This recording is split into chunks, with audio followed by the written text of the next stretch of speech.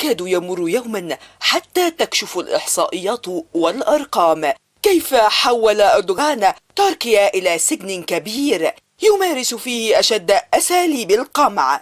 فإن عدد السجناء الأتراك قد زاد تقريبا للضعف خلال السنوات الخمس الماضية. الإحصاءات الحكومية كشفت أن عدد المسجونين في تركيا بلغ 264 ألفا و842 في نهاية ديسمبر من عام 2018 بزيادة قدرها 14% عن التاريخ نفسه في 2017 في إشارة إلى ارتفاع عدد السجناء في هذا البلد إلى مستوى غير مسبوق. بينما يمثل المعتقلون السياسيون خمس المحبوسين.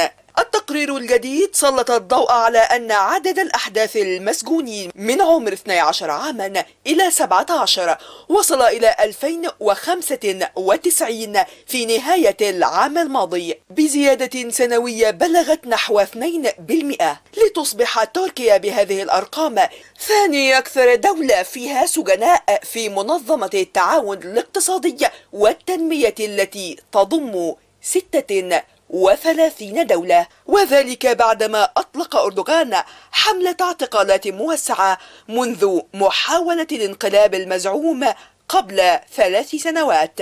وتشير تقديرات منظمات حقوقية إلى أن السلطات التركية اعتقلت نحو 77 ألف شخص على خلفية اتهام بات معدا مسبقا لكل معارض النظام وهي الانتماء إلى جماعة الداعية فتح الله جولن الذي تقول أنقرة إنه يقف خلف الانقلاب الفاشل.